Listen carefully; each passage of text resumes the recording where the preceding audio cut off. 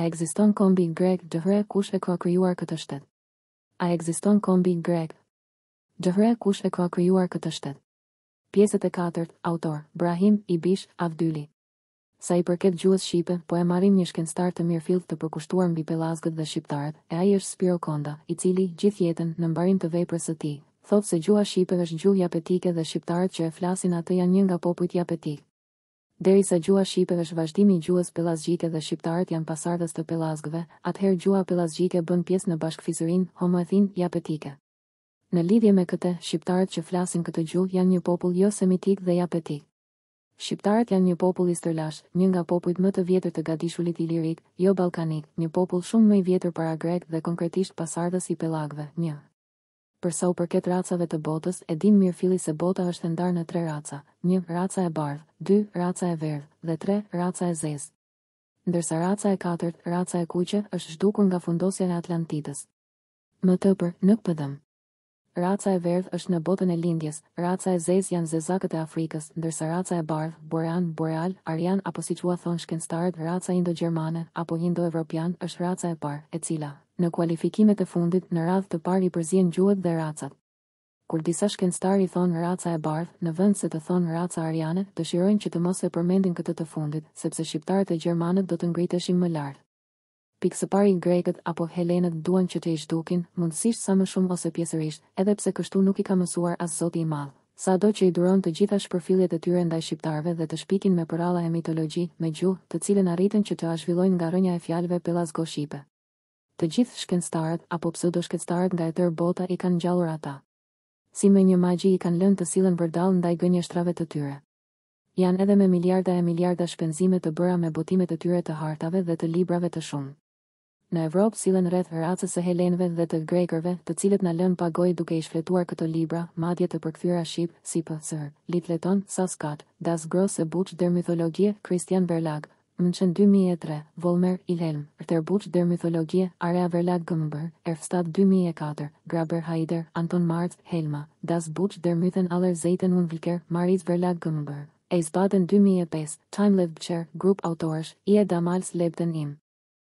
Griechenland der Antike, Afër, German Language Edition, Hamburg një mijë e nëntëqind e nëntëdhjetë e tetë, Dommermuth Gudrich, Gerold, Mitet më të famshme të lashtësisë, Emri origjinal i veprës, pesëdhjetë Mitet klasike, Spektër Botimet Max, Tiranë dy mijë e gjashtë, Philip, Neil, Mythen Legenden Ursprung, Bedeutung, und Bilderwelt von über pesëdhjetë Mythen aus aller Welt, Mondo Verlag AG, Vevey Sahr një mijë e nëntëqind e nëntëdhjetë e nëntë,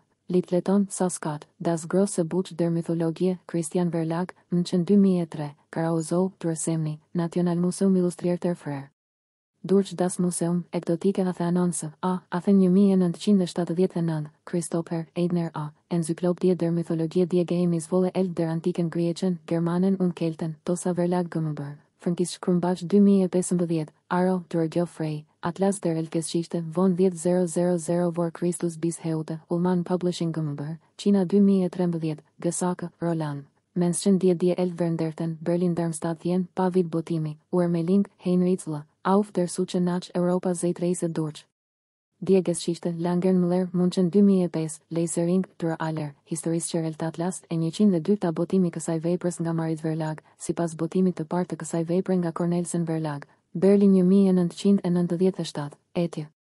Etj. Dhe qindra të tjera, që nuk kam mundësi t'i përmendi me këtë rast. Ka edhe të tjerë shqiptarë, si disa albanologë të shquar, që mbesin peng të literaturës së lexuar greke, italiane, sllave, ruse, angleze, e spanjolle, si Psr. Baku, Pasho, Enciklopedia Universale e Ilustruar. Shtëpia Botuese Bacchus, Tiranë dy mijë e njëmbëdhjetë, Brinja, Eva. Antikiteti Helenët janë ilirë të zbritur në Egje, Ilar, Tiranë dy mijë e pesë, Dhrama, Doc. Todi, Fjalor i mitologjisë, Biblioteka Linguistikë, Rilindja Prishtinë një mijë e nëntëqind e tetëdhjetë e tetë, etj, e nuk po i përmendi të tjerët, sepse kjo është mjaft, por, ka edhe pjesërisht, sidomos me fenikasit e Kadmin, që i nxjerrin si pellazgë, edhe pse e dinë se ata nuk janë të tillë, Psr. D'Angely, Robert, Enigma, nga pellazgët te shqiptarët, Botimet Toena, Tiranë një mijë e nëntëqind e nëntëdhjetë e tetë, Eltari, Ali, Pellazgët, Krijuesit e qytetërimit botëror, Grand Prind, Tiranë dy mijë e tetë, Cenollari, Ilir, Profecitë e Zotit të Tomorit, Jonalda.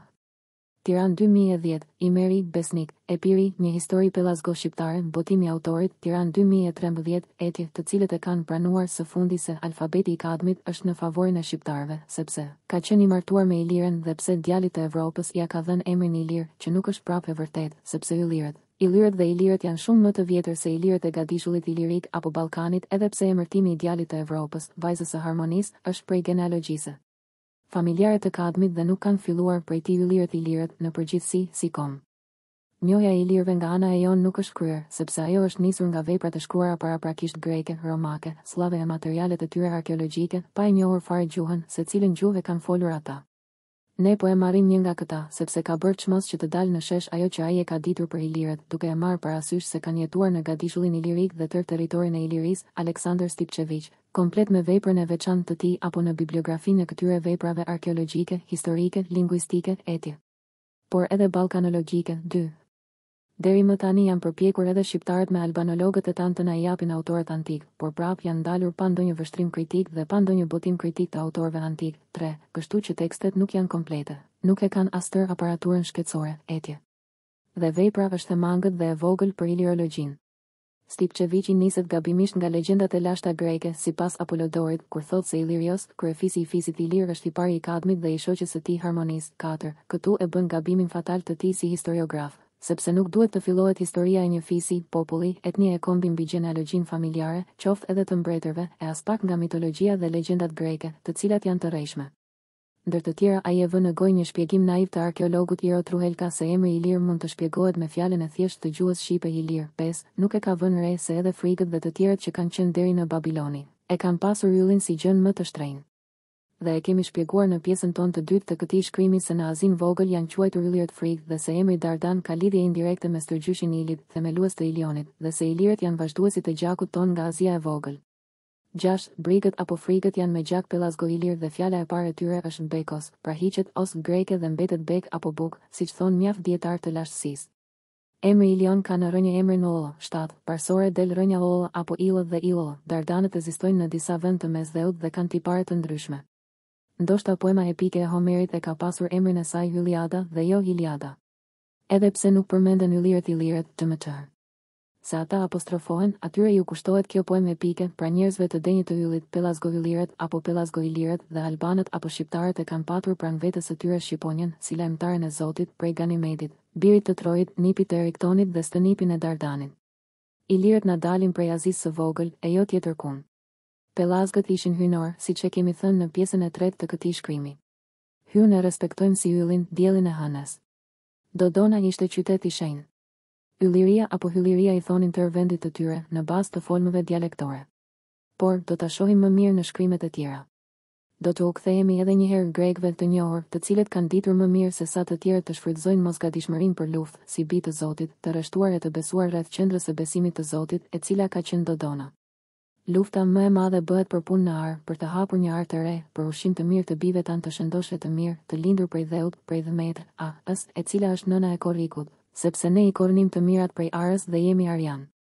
Përsëri zjarrin e luftës e duronim tre fesh, për të cilën e ulnim kokën para armikut, që do të thotë se tri herë ecnim nëpër dhembje e përvikime, e të katërtën duhet të ngriteshim në këmbë, të jemi të luftës apo që dinim të a bëjmë edhe luftën.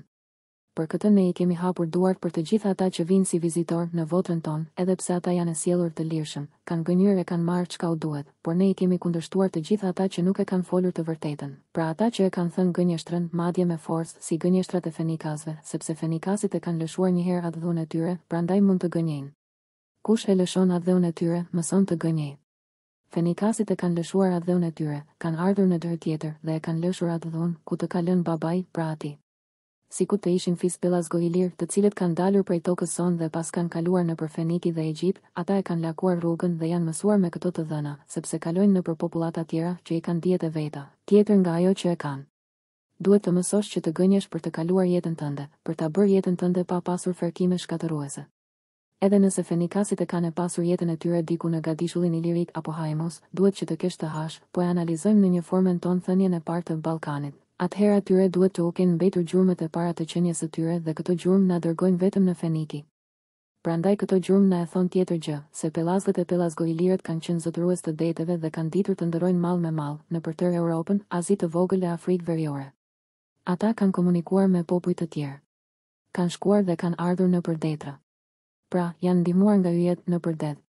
Alfabeti fenikas nuk është me origjinë pellazge, siç thotë Iliri Daonlinen dhe qindra të tjerë shkencëtarë, por është semito-egjyptian, ndërsa gjuha shqipe me të cilën kanë folur yllirët, illirët dhe shqiptarët bëjnë pjesë në bashkëfisërinë japetike, është gjuhë japetike, jo semitike, shumë më përpara tyre. Pra, alfabeti i Kadmit, që është semitofenikas, e ka zëvendësuar alfabetin pellazgo-ilir edhe me dhunë e me gënjeshtra, që është dokumentuar deri në linearin AEB, por i fundosur me tërë periudhën një mijë e dyqind, tetëqind PS. Sepse e dimë me ndërgjegje, se albanët janë quajtur ata të cilët kanë mundur të shpikin fillimisht al, fabetin e parë, pra al, b, e, an, që kanë mundur të banë AEB, etj. Dmth. shkrimin, ushtruesit e shkrimit të parë. Me këtë rast po e marrin një fjalë të mikut dhe shkencëtarit prof. Dr. Rexhep Doçit, i cili e shpreh mendimin e tij se disa antroponime, patronime, ojkonime, oronime, hidronime, etj. kryesisht të dialektit gegë se sa toskë gjasojnë me fjalë të vjetra apo me onome të lashta, çështje kjo e cila ka mbetur deri më tani e pakrahasuar, pra e diskutueshme, por në ardhmen mund të na befasojnë për të mirë të historisë dhe të gjuhës shqipe, ted, provat e mia janë të parat për befasinë, jo vetëm për vete, por edhe për shkencëtarët e huaj të botës, që nuk e njohin gjuhën shqipe. Për mendimin tim, emërtimet e kombit dallojnë prej toponimeve për sa i përket vendit, psh. Pellazgo-ilirët janë të dhënë në territorin e sotëm të Greqisë, Thrakisë, të Azisë së Vogël apo Turqisë së sotme, e në anën tjetër të Maqedonisë dhe të Ilirisë. Emërtimet e kombit ndryshojnë sipas regjioneve, vendeve etje. Ndërsa emërtimet e kombit të lashtë historik, është Yllir. Vendin e tij të lashtë e ka në Azinë e Vogël, deri në Babiloni, Babyloni, e tërë Evropën, dhe se ka patur si detyrë të parë krijimin e alfabeteve të lashta, prandaj thirren Albanë, që bëjnë an, pra alfabetin. Në vend të i duhet të jetë y, pra Ylliria dhe jo Illyria, sepse nga Ylliria kuptojmë se ka lidhje me yllin, ndërsa me illi, nuk kuptojmë asgjë, pos i lirë, dhe e dimë se yllirët nuk kanë qenë asnjëherë të lirë. Për skaj tyre e rreth e rrotull u kanë ardhur luftërat, madje prej grekëve, romakëve, sllavëve dhe të ashtuquajturve turq. Ne duhet të heqim këto manevrime dinake, njërën pas tjetrës, të shohim pak dritë më të mirë, sepse ky është viti i gjarpërit, siç thonë kinezët, e zgjat një mijë vite. Në qoftë se jemi në gjumë, që është gjysmë vdekje, do të vdesim tërësisht, në qoftë se zgjohemi, pa flamur e sisteme kombëtare, por si bij të vërtetë të Zotit, atëherë do të jemi gjithmonë të drejtë dhe me dritë të madhe të shkencave, mbi ne, si bij të yllit, të qiellit, të galaktikës së dritës, të urtë e të mençur. Do të na falë edhe Zoti i Madh, sepse na ka dhënë dënim prej Babilonisë, i cili nuk është ndarë brez pas brezi. Të ashtuquajturit grekë apo helenë na e futën minën e parë në bazat e shkencës, na e mbuluan prej vitit një mijë e dyqind PS, deri në vitin tetëqind PS, historinë e yllit me errësirë të plotë, e deri në vitin një mijë TS, me gjuhën artificiale fenikase, me bazat prore të fillimit të shkencave, të gjitha në rrotullim të vazhdueshëm. Për të tjerat mina, që janë edhe dy mina, mina sllave dhe turke, do të flasim më vonë.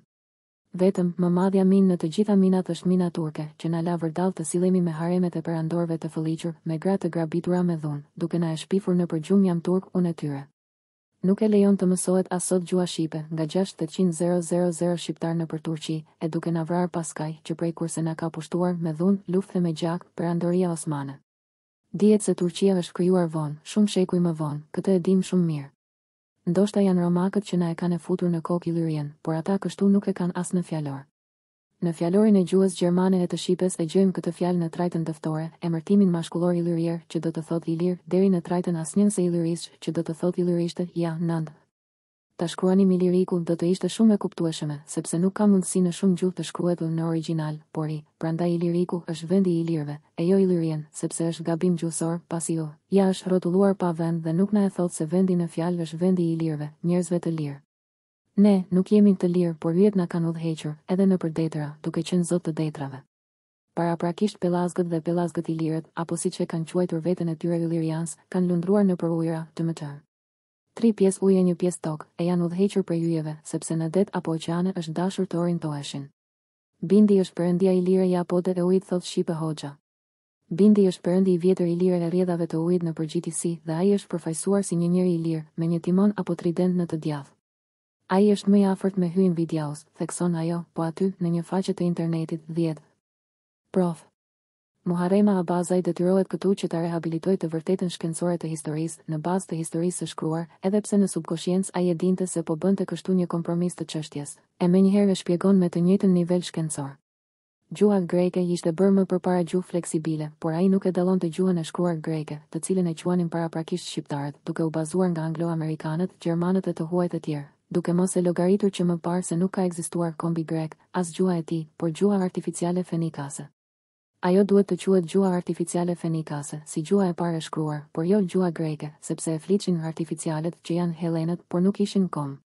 Pra, Muharrem Abazaj, në veprën e tij Pellazgët kanë folur dhe shkruar shqip, që thotë se aftësinë fleksibile e ka fituar gjuha greke, sikurse pas saj edhe latinishtja, e gjuha greke fillon që nga shekulli i vijtë, Sado që ka dalur nga pellazgishtja, njëmbëdhjetë, duke u kthyer te e thëna diskriminuese e Herodotit, i cili thotë se gjuha e pellazge ishte një gjuhë barbare, dymbëdhjetë, në kohën e Herodotit, por edhe para tij, në territorin e Greqisë së lashtë, që nuk është e njëjta me shtetin grek, pas vitit një mijë e nëntëqind e njëzet e shtatë apo një mijë e nëntëqind e njëzet e një, njëzet e nëntë, që ka ditur të shfrytëzojë luftën arvanitase për qëllime helenistike, apo që përpara saj, kur ajo ka dalur me fjalorin sonda. në vitin një mijë t.e.s., të grekërve të rinj, sepse nuk është e njëjta me Greqinë e lashtë, të cilat ndahen me njëra-tjetrën, trembëdhjetë, fliteshin dy gjuhë, pellazgishtja dhe greqishtja e vjetër, për mua, fenikishtja. Jo greqishtja. Greqishtja ia mori stafetën pellazgishtes, ngaqë ajo u bë gjuhë e shkruar, gjuhë e kulturës dhe e qeverisjes, gjuhë zyrtare. Për mendimin tim ajo ka qenë gjuhë teknike, pra artificiale, sepse gjuhë zyrtare. mund të quhet kur bëhet shteti i saj me ligje, pas vitit një mijë e nëntëqind e njëzet e shtatë, një mijë e nëntëqind e njëzet e nëntë, apo fillimin e zyrtarizimit do ta llogarisim prej kohës kur u futën grekët e rinj, që ishin në disa nacionalitete të vogla dhe të përziera, në vitin një mijë t.e.s., kur pellazgishtja mbeti vetëm si gjuhë e folur. gjë kjo që solli rrudhjen e vazhdueshme të saj, derisa arriti të quhej gjuhë e vdekur, katërmbëdhjetë, megjithëse unë e di dhe e them se gjuha pellazgo-shqipe ka vazhduar të flitet deri në shekullin XXI nëpër Greqi apo Helladë, siç e quan ajo veten e saj, d.m.th. përgjatë tre mileniumeve, kur arvanitët pushojnë të flasin gjuhën shqipe. Nuk mund të quajmë gjuhë e vdekur arvanitasit në trojet e veta, sado që edhe sot bën përpjekje të mëdha që të na bllokojë para botës së gjerë në trojet tona, e cila quhet Shqipëri, e cila përpiqet që edhe me fe ortodokse të na ngrehë përmes gjuhës artificiale të saj, greqishten e re, drejt Helladës së saj, dhe i harron kriteret që duhet t'i ketë për të qenë shtet, pra jo me gjuhën mashtruese greke. Ne bëhemi të verbër nga të gjitha mashtrimet greke dhe rrotullohet historia para syve tanë. E lëmë si të vërtetë Greqinë, sepse nuk i plotëson aspak kushtet për të ekzistuar, dhe shkojmë të verbër duke e përkrahur Kadmin, sikur ai e paska dhënë alfabetin e parë të shqipes, sado që nuk duhet shumë mund të kuptojmë se ka qenë fenikas, pra jo shqiptar dhe as pellazg, dhe na ka lënë të notojmë në ujërat e turbullta tre mijë vjeçare, pas gënjeshtrave të mrekulluara të tij. Gjysmë të verbër e. Gjysmë jerem, e lëmë gjuhën shqipe aty ku e ka lënë këtë gjuhë Kadmi, edhe pse siç thotë me titullin e veprës prof. Muharrem Abazaj, pellazgët kanë folur shqip. A mund ta shohim vetveten tonë derisa e shkruajmë Illyria në vend se të jetë me të vërtetë Yllyria Illyrians? A e njohim kështu të vërtetën historike? Për mendimin tim, jo. E flasim dhe e shkruajmë siç na thonë të tjerët. Një, Spiro Konda, Shqiptarët dhe problemi pellazgjik, Tiranë një mijë e nëntëqind e gjashtëdhjetë e katër ose Eugen, Tiranë dy mijë e njëmbëdhjetë, faqet katërqind e tetëdhjetë e pesë, katërqind e tetëdhjetë e gjashtë. Dy, Aleksandër Stipçeviq, Ilirët Historia, jeta, kultura, simbolet e kultit, botimet Toena, Tiranë dy mijë e dy. Tre, Akademia e Shkencave e Shqipërisë, Istituti i Arkeologjisë, Ilirët dhe Iliria te autorët antikë, Tiranë një mijë e nëntëqind e gjashtëdhjetë e pesë apo te botimet Toena, Tiranë dy mijë e dy. Katër, Aleksandër Stipçeviq, Vepra e përmendur, faqe pesëmbëdhjetë. Pesë, Po aty, faqe gjashtëmbëdhjetë. Gjashtë, Shiko faqen time provizore http, Brahim Avdyli, ch a ekziston kombi grek dy. Shtatë, Nëse dëshironi të shikoni veprën e Sulejman Matos, Në kërkim të rrënjëve, shikoni në faqen dyzet e nëntë apo faqen njëqind e njëzet e tre. Tetë, Prof. Dr. Rexhep Doçi, Pellazgët, Pellazgët, gjyshër të ilirëve dhe stërgjyshër të shqiptarëve, Lena Grafik, Prishtinë dy mijë e gjashtëmbëdhjetë, faqe nëntëmbëdhjetë. Nëntë, Shikoni në fjalorin, Sonderausgabe Langenscheidts Handwörterbuch, Albanisch Deutsch, Deutsch, Albanisch, Langenscheidt, Berlin München Zürich New York dy mijë, faqe njëqind e nëntëdhjetë e gjashtë. Dhjetë, Shikoni te Shqipe Hoxha, në FB, http, facebook, com Shqipe Hoxha, të përsëritur në datën pesëmbëdhjetë tetor dy mijë e gjashtëmbëdhjetë. Njëmbëdhjetë, Muharrem Abazaj, Pellazgët kanë folur dhe shkruar shqip, Rofon, Tiranë dy mijë e trembëdhjetë, faqe tridhjetë e katër. Dymbëdhjetë, Po aty, e njëjta vepër, faqe tridhjetë e nëntë. Trembëdhjetë, Shikoni në faqen time http, Brahim Avdyli, ch apo në shkrimet e mia, derisa të botohet si një libër i veçantë. Katërmbëdhjetë, Vepra e përmendur e Muharrem Abazaj, e njëjta faqe, tridhjetë e nëntë.